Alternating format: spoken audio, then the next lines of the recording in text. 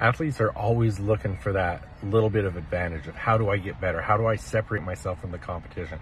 And of course, through the Confident Athlete program, we work on the mental game that does that for them. But when we talk about specifics, one of the things I ask them, are you practicing deliberately? What are you doing on your own time?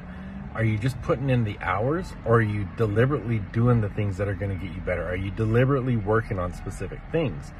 And how are you doing that? Are you stretching yourself? Are you putting yourself in uncomfortable situations? One thing I always tell them is you want to speed up your rate of failure. What do I mean by that? You want to put yourself in situations where you're playing people and competing against people that are better than you, that are going to make you stretch to compete with them.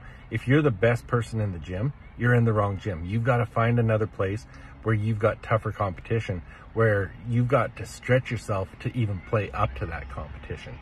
Now, again, the mindset part of it, the mental game is such an important factor in that.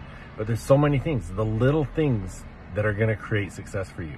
Come and join us in the Confident Athlete program. Go to confidentathleteprogram.com.